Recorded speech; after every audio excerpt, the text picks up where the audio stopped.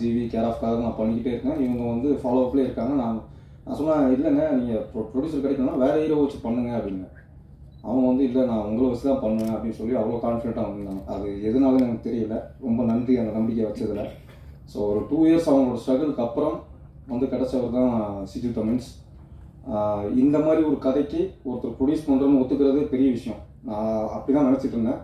But அவர் வந்து என்கிட்ட உட்காரும் போது ரொம்ப கான்ஃபிடென்ட்டாக கண்டிப்பாக இந்த படம் நம்ம பண்ணுறோம் பெரிய சக்ஸஸ் ஆகும். தமிழ் சினிமாவில் இது ஒரு டிஃப்ரெண்ட்டான ஒரு கதையாக இருக்கும் அப்படின்னாரு. அந்த கான்ஃபிடன்ஸ்லாம் ஆரம்பித்தோம் ஸோ உங்களுக்கும் ரொம்ப நன்றி. படம் ஆரம்பித்து ஃபர்ஸ்ட் ஷெட்யூல் முடிச்சிட்டோம். கரெக்டாக ஃபர்ஸ்ட் ஷெட்யூல் முடிச்சுட்டு சென்னைக்கு வரேன் லாக்டவுன் போட்டாங்க. ஒரு ஆறு மாதம் அதில் கேப் ஆயிடுச்சு. அதுக்கப்புறம் திரும்பியும் வந்து ஷூட்டுக்கு கேரளா போகிறோம் அங்கே போனோன்னே இங்கே இருக்க எல்லாமே வந்து கேரளா. நான் மட்டும்தான் வந்து சென்னையிலேருந்து போகிறேன் ஸோ என்ன குவாரண்டைன் பண்ண சொல்லி ஒரு ஃபோர்டீன் டேஸ் உட்கார வச்சிட்டாங்க. ஒரே ரூம்குள்ளே குவாரண்டைன் பண்ணி அதுக்கப்புறம் திரும்பி ஷூட் ரெசியூம் பண்ணோம். ஃபுல் அண்ட் ஃபுல் ஃபாரஸ்ட்குள்ளே தான் எடுத்தோம். ஒரு ஃபோர் ஃபைவ் டேஸ் மட்டும் தான் சிட்டிக்குள்ளே எடுத்துருப்போம்னு நினைக்கிறேன். ஃபுல் அண்ட் ஃபுல் ஃபாரஸ்ட்டு எங்கள் ரூம்ல இருந்து போகும்போதே வந்து ஃபோன் சுவிச் ஆஃப் பண்ணிட்டு தான் போவோம் ஏன்னா அங்கே டவர் இருக்காது. ஒரு தண்ணி வாங்கணும்னாலும் ஃபார்ட்டி ஃபைவ் மினிட்ஸ் நாங்கள் திரும்பி ட்ராவல் பண்ணி தான் வந்து தண்ணி வாங்கிட்டு போவோம் ஸோ அவ்வளோ கஷ்டப்பட்டு தான் பண்ணோம். நிறைய நைட் ஷூட்டு பார்வதிலாம் வந்து பார்வதி எனக்கும் ஒரு ரெயின் சீன் ரெயின் சீக்வன்ஸ்லாம் இருந்தது. ஸோ அதில் வந்து அங்கே ஏற்கனவே குளிர். இவங்க அதில் வேறு ரெயின் அடிச்சுக்கிட்டே இருக்காங்க. கேரவன் கிடையாது கார் கிடையாது. ஸோ என்ன பண்ணுறது அப்படின்னு தெரியாமல் நாங்கள் ரோட்டில் நின்றுட்டுருக்கோம் ட்ரை ஆனால் திரும்பியும் வந்து தண்ணி அடிச்சு விட்ருவாங்க மேலே. விடிய விடிய நிறைய ஸ்ட்ரகிள் பண்ணியிருக்கோம் அந்த படத்தில். நீங்கள் ட்ரெய்லர் பார்க்கும்போது தெரிஞ்சிருக்கோம். அப்புறம் இந்த படத்தோட இந்த படத்தில் எனக்கு ரொம்ப பிடிச்சது என்னென்னா எனக்கு வந்து நாலு கெட்டப் இருக்குது இந்த படத்தில். ஸோ டிஃப்ரெண்ட் கெட்டப்ஸில் நான் பண்ணியிருக்கேன். கண்டிப்பாக என்னோட ஆக்டிங்கில் வந்து அடுத்த ஒரு ஸ்டேஜாக வந்து சொல்கிறாங்க அது பெருசாக சொல்கிறதுன்னு மியூசிக் டைரக்டரும் எடிட்டரும் வந்து எனக்கு அவ்வளோ கான்ஃபிடன்ஸ் கொடுத்துருக்காங்க. கண்டிப்பாக இது பிஃபோர் மெமரிஸ் ஆஃப்டர் மெமரிஸ்னு வரும் அப்படின்ற மாதிரி சொல்கிறாங்க ஸோ நீங்கள் எல்லாம் படம் பாருங்கள் இது வரைக்கும் என்னோடய படத்துக்கு உங்களோட சப்போர்ட் மிகப்பெரிய லெவலில் இருந்திருக்கு. இந்த படத்துக்கும் அந்த லெவலுக்கு சப்போர்ட் பண்ணுங்கள் எல்லாரும் தேட்டரில் பாருங்கள் நன்றி வணக்கம். ஆக்சுவலி இது வந்து தமிழில் என்னோட ஃபர்ஸ்ட் மூவி ஷூட் பண்ணும்போது ஃபர்ஸ்ட் மூவி பட் காரி ஃபர்ஸ்ட் ரிலீஸ் ஆயிடுச்சு டூ தௌசண்ட் டுவெண்ட்டில இருந்து வி ஸ்டார்ட் ஷூட்டிங் ஸோ அந்த டைமில் I was very bad too bad in Tamil even now I'm bad I'm trying to uh, you know pick up some words uh, so it was my first experience like you know coming to Tamil industry through memories so and those days the uh, shoot was very interesting because most of our shoot was in forest like 90% of the shoot was in forest i only had a small portion so uh, all of my portions was in forest only and uh, ரொம்ப அட்வென்ச்சரஸான like அந்த மாதிரி shoot போயிட்டேன் so and talking about my character my character's name is janaki and actually i don't know more about my character even i'm waiting to watch in theaters like all you guys so i'm happy that i got to play a role in memories i hope you all like it please do come and watch in the theaters thank you so much வணக்கம் நான் பிரவீன் இது ஒரு cycles memories memories எல்லாரும் மெமரிஸை பற்றி நிறைய சொல்லியிருக்கு இப்போ இந்த மெமரிஸ் என்ற படம் ஒரு சைக்காலஜிக்கல் மூவி இப்போ எல்லாரும் கேட்கும் இந்த சைக்காலஜிக்கல் மூவிஸ் நிறைய வருது இந்த மாதிரி மூவி நாம நிறைய பார்த்துட்டு இருக்கு. அதில் இருந்து என்ன வித்தியாசத்தை கொடுத்து கொடுத்துருக்காங்க? நீங்கள் என்ன தான் பண்ணி வச்சுருக்காங்க? இன்னும் நிறைய பேர். நேற்று கொஞ்சம் இதெல்லாம் இண்டிவிஜுவல் இருந்துச்சு. அதில் எல்லாரும் கேட்டிருந்தாங்க.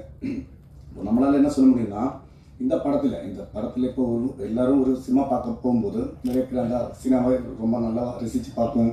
இப்போ இந்த படத்தில் எப்படின்னா இந்த படத்தில் இந்த படம் பார்க்கும்போது நம்மளும் அதில் ஒரு கேரக்டர் இதில் ஒரு கேரக்டர் இல்லை வெற்றி நடித்த ஒரு மெயின் கேரக்டர் இருக்குது அந்த கேரக்டர் கூட நம்மளும் ட்ராவல் ஆகிற மாதிரி தான் அப்படி ட்ராவல் ஆனால் மட்டும்தான் இந்த சப்ஜெக்டில் நம்மளால் கரெக்டாக ஸ்டோரியை ஃபாலோ பண்ணி போக முடியும். அந்த அவ்வளோ கன்ஃபியூஷன் இல்லை. கிளைமேக்ஸில் வரும்போது நம்ம எல்லாம் கரெக்டாக எல்லாம் ரிலீவ் பண்ணியிருக்கு. வணக்கம். எல்லாருக்கும் வணக்கம். ஆக்சுவலி இது வந்து ஒரு ட்ரீம் கம் ட்ரூ மூமெண்ட்னு சொல்லலாம் கண்டிப்பாக பதிமூணு வருஷமாக நம்ம சேர்ந்து வந்து ட்ராவல் பண்ணிட்டு இருக்கு.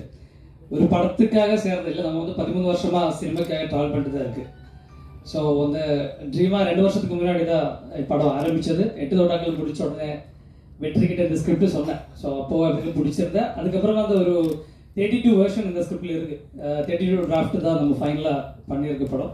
ஸோ சைக்காலஜிக்கல் த்ரில்லர்னால அவ்வளோ நம்ம கஷ்டப்பட்டு தான் ரைட் பண்ணியிருக்கு.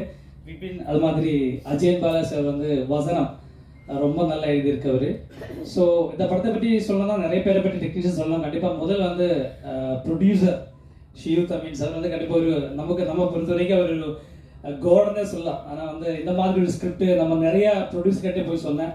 ஸோ ஆக்சுவலி தமிழ் ப்ரொடியூசர் அவ்வளோ தெரியல. கேரளாவில் தான் சொன்னேன். தமிழ் படத்துக்காக சொன்னேன். பட் யாருக்குமே என்ன சொல்கிறதுனா இது வந்து ஒரு கொமர்ஷியல் மூவியாக எனக்கு தெரியல. வந்து பயங்கர கன்ஃபியூஷனாக இருக்குது எப்படி வந்து இது ஆடியன்ஸ் எப்படி வந்து இது ஹிட் ஆகுமா இல்லாமல் அந்த கன்ஃபியூஷன் எல்லாருக்குமே இருக்குது அப்புறம் வந்து இந்த மார்க்கெட் வந்து எப்படி இருக்குது இந்த ஆர்டிஸ்ட்க்கு மார்க்கெட் எப்படி இருக்குன்றதெல்லாம் கேட்டு நிறைய ப்ரொடியூசர்ஸ் வந்து ரிஜெக்ட் பண்ண ஸ்கிரிப்ட் தான் இது. ஆக்சுவலி ஓப்பனாக சொல்லலாம். ரிஜெக்ட் பண்ண ஸ்கிரிப்ட் தான் இது. ஸோ ஷிஜு தமின்ஸ் அவர் வந்து கொஞ்ச நாளாக தெரியும். நான் பக்கத்தில் தான் வீடு. ஸோ இந்த மாதிரி ஒரு மீட்டிங் கேட்டு போய் இந்த ஸ்கிரிப்ட் சொல்லும் போதே கேட்டு முடிச்ச உடனே கேட்டேன். யாரு ஹீரோன்னு கேட்டேன். இது மாதிரி எட்டு தோட்டாக்கள் அப்புறம் ஜிவின்னு ஒரு படம் ரிலீஸ் ஆயிருக்குன்னு சொன்னேன். சரி நீங்கள் ஜிவி முதல் பார்க்கட்டும்னு சொன்னேன். எனக்கு ஒரு டே டைம் கொடுங்கன்னு சொன்னேன். நெக்ஸ்ட் டே ஒரு ஜிவி பார்த்துட்டு கோல் பண்ணிடுச்சு நமக்கு கண்டிப்பாக பண்ணிக்கலாம். எப்போ வெற்றிக்கு எப்போ அட்வான்ஸ் கொடுக்கலாம். நீங்க வெற்றி கிட்ட கேளுங்க. நமக்கு அட்வான்ஸ் கொடுத்து இந்த ப்ரொஜெக்ட் வந்து கன்ஃபார்ம் பண்ணிக்கலாம்னு சொல்லிட்டு அன்னையிலிருந்து இன்ன வரைக்கும் நமக்காக வந்து எல்லா விஷயமும் சொல்லி பண்ணி கொடுத்த நிறைய ஸ்ட்ரகிள் இருக்கு இந்த படத்தில். ஆனால் கோவிட் சிக்ஸ் மந்த்ஸ் வந்து கோவிட்னால வந்து ஃபுல் ஷூட் இல்லாமல் இருந்து அப்புறம் சிக்ஸ் மந்த்ஸ்க்கு அப்புறம் வந்து ஃபர்ஸ்ட் வந்து கேரளாவில் தான் வந்து ஷூட்டிங் பெர்மிஷன் வந்து அவுட்டோர் ஸோ அப்போ இங்கே தமிழ்நாட்டிலேருந்து யார் அங்கே வந்தாலும் பதினாறு குவாரண்டைனில் இருக்கணும். ஸோ நம்ம டீமாக கேட்கும்போது சரி வெற்றி கிட்ட கேட்கலாம்னு நினச்சேன். பிரதர் இந்த மாதிரி வந்தால் நீங்கள் பதினாலு நாள் குவாரண்டைன் இருக்கணும்னு சொன்னேன்.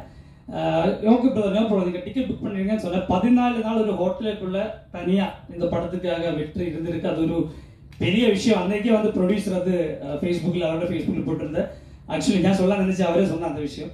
பதினாலு நாள் அவர் ஒரு ரூமுக்குள்ளவே தனியாக அவர் இருந்த யாருமே பார்க்க முடியல. யார் எல்லாருமே ஜஸ்ட் ஃபுட்டு கொண்டு டோருக்கு முன்னாடி வச்சுட்டு போயிடும் அந்த மாதிரி நான் கோடு இருக்கான்னு தெரியல. ஹோட்டல்ல கூட அப்படிதான். ஸோ அந்த பதினாலு நாள் அவர் ஹோட்டலில் வந்து கோரில் இருந்து பண்ணதே பெரிய விஷயம். அவர் வந்து வெற்றியோட வந்து ஒரு நாலு லேயர் இருக்கு. நாலு டைப் ஆஃப் ஒரு ஷேடு இருக்கு அவரோட கேரக்டருக்கு கண்டிப்பா அவரோட அவரோட கெரியர்ல வந்து அவர் பண்ணதுல வந்து ஒரு ஒரு நல்ல ஆக்டிங் வந்து இந்த படத்துல பண்ணிருக்கேன்னு ரொம்ப கான்ஃபிடென்ட்டா உங்ககிட்ட சொல்றேன். கண்டிப்பா அது கிளைமேக்ஸோட அந்த ஆக்டிங் வந்து வேற லெவலில் பண்ணியிருக்கு. அது இவ்வளோ கான்ஃபிடென்ட் உங்ககிட்ட சொல்றது. கண்டிப்பா எல்லாரோட சப்போர்ட்டும் நமக்கு இந்த படத்துக்காக வேணும். அப்புறம் சாம் லோகேஷ். நம்ம வந்து ஒரு த்ரீ ஹவர்ஸ் படம் தான் ஷூட் பண்ணது. ஒரு த்ரீ ஹவர்ஸ் படம் ஷூட் பண்ணிட்டு அப்படியே கொண்டு சாம் லோகேஷ் கொடுத்த பிரதர் வந்து கொஞ்சம் கன்ஃபியூஷன் ஸ்கிரிப்ட் த்ரீ ஹவர்ஸ் இருக்கு நீங்க பண்ணி கொடுங்கன்னு சொன்னேன். அவர் படம் ஒரு டென் டைம்ஸ் பார்த்து பார்த்துட்டு டெய்லி நைட் ஒரு மணிக்கு கால் பண்ணிட்டேன் ப்ரோ இது கன்ஃபியூஷனாக இருக்கு ப்ரோ இது வந்து எப்படி இந்த கேரக்டர் அப்படி வருது? அங்கே கரெக்ட் இந்த கேரக்டருக்கு அங்கே ஏன் அந்த நேம் வருதெல்லாம் கேட்டு டெய்லி நைட் ஒரு மணிக்கு கால் பண்ணிடும். ஸோ ஒரு ஆறாவது நாள் அவர் கால் பண்ணிருக்கு ப்ரோ டென் மினிட்ஸ் கொடுங்கன்னு சொல்லிட்டு அவர் ஸ்டோர் சொன்னேன் ப்ரோ இதானே ஸ்டோரின்னு கேட்டேன் ஆமா பிரதர்னு சொன்னேன் சரி பிரதர் இனி நான் வந்து முடிச்சு விடலாம்னு சொன்னேன். கரெக்டாக டுவெண்ட்டி டேஸ்ல முடிச்சுட்டு வந்து படமா அவர் ஃபர்ஸ்ட் ஹாஃப் செகண்ட் ஹாஃப் காட்டும் போது ரொம்ப அழகாக அவர் பண்ணியிருக்கு. மக்களுக்கு புரியன மாதிரி அவர் எடிட் பண்ணி கொடுத்துருக்கு. ஸோ இது வந்து நீங்கள் பார்க்க போகிறது வந்து கண்டிப்பாக சான் லோகேஷ் தான் எடிட்டரோட வேஷன் அவரோட வேஷன் ஆஃப் ஸ்கிரிப்ட் வந்து கண்டிப்பாக நமக்கு சொல்லலாம். ரெண்டாவது வந்து இசை நம்ம கெவாஸ்கர் அவினாஷ் இந்த கோவிட்னால எனக்கு கிடைச்ச மியூசிக் டைரக்டர் தான். நமக்கு கிடைச்ச மியூசிக் டைரக்டர் தான் கெவாஸ்கர் சொல்ல என்னன்னா அந்த டைம்ல கேரளாவில் வந்து கோவிட் கேசஸ் வந்து சீரோ வந்து என்னைக்கு வந்து பினராயி விஜயன் வந்து நம்ம சிஎம் வந்து ஆறு மணிக்கு அங்கே வந்து பிரஸ் கிட்ட சொல்லிடுது ஸோ அன்னைக்கு வந்து சீரோ கேஸ் சொல்லும்போது ரொம்ப இதாக வந்து ஞாபகம் போட்டேன். இன்னைக்கு வந்து கேரளாவில் சீரோ கேசஸ் போடும்போது இவர் அதில் ஒரு கமெண்ட் சொன்னார். நீங்க வந்து சரியா டெஸ்ட் பண்ணல. அதனால தான் அங்கே சீரோ கேஸ்னு சொல்லி கெவாஸ்கர் அவினாஷ் வந்து கமெண்ட் சொன்னேன் பண்ணல. கமெண்ட் பண்ணும்போது யார் அந்த கெவாஸ்கர் செக் பண்ணும்போது மியூசிக் டைரக்டர் ஸோ அவரோட வந்து இக்குன்னு சொல்லிட்டு ஒரு படத்தில் டீசர் ரிலீஸ் ஆயிருக்கு. சரி அந்த டீசர் கேட்கும் போது மியூசிக் ரொம்ப பிடிச்சிருந்தேன் அந்த டீசரோட மியூசிக் நமக்கு நம்ம தேடிட்டு இருந்த ஒரு மியூசிக் டைரக்ட் மாதிரி ஃபீல் பண்ணேன். சரி மெசேஜில் போய் நம்பர் கேட்டேன். நம்பர் கொடுத்து கரெக்டாக அவருக்கு என்னன்னா ஃபர்ஸ்ட் ஹாஃப் முடிச்சு அப்படியே கொடுத்தேன். ப்ரோ வந்து செகண்ட் ஹாஃப் உங்களுக்கு காட்ட மாட்டேன். நீங்க இந்த ஃபர்ஸ்ட் ஹாஃப் மியூசிக் பண்ணுங்க. எப்படி ஒரு ஆடியன்ஸுக்கு இந்த ஃபர்ஸ்ட் ஹாஃப்ல நிறைய கன்ஃபியூஷன் இருக்கும். அந்த கன்ஃபியூஷன் எப்படி ஒரு மியூசிக் டைரக்டர் இருக்குமோ அது மாதிரி நீங்க அவருக்காக மியூசிக் பண்ணுங்கன்னு சொன்னேன். ரொம்ப அழகாக அவர் ஃபர்ஸ்ட் ஹாஃப் செகண்ட் மியூசிக் பண்ணியிருக்கு. ரொம்ப கான்ஃபிடன்ஸ் சொல்ல கண்டிப்பா நெக்ஸ்ட் படம் நம்ம சர்க்குமார் சார் வச்சு பண்ணிட்டு இருக்கு. த ஸ்மைல் மேன் சொல்லிட்டு அவரோட ஒன் ஃபிஃப்டி மூவி ஸோ அந்த படத்திலும் இவர் தான் இசை பண்றது. சான் லோகேஷ் தான் எடிட் பண்றாரு. இந்த டீம் அப்படியே அந்த டீம்ல இருக்கு. ஸோ நல்லாவே பண்ணியிருக்கு தேங்க்யூ தேங்க்யூ நீங்க எல்லாரும் சப்போர்ட் பண்ணுங்க. எங்களோட முதல் தமிழ் மூவி எல்லாரும் சப்போர்ட் பண்ணுங்க. கண்டிப்பா நீங்க சப்போர்ட் பண்ணாதான் நம்ம கெரியர்ல வந்து அடுத்த கட்டத்தில் போக முடியும். எல்லாரும் சப்போர்ட் பண்ணுங்க. இனி வந்து நம்ம மலையாளத்தில் படம் பண்ணல. நம்ம தமிழ் தான் படம் கண்டினியூ பண்ணதான் ஆசைப்படுறது. நீங்க எல்லாரும் சப்போர்ட் பண்ணுங்க. தேங்க்யூ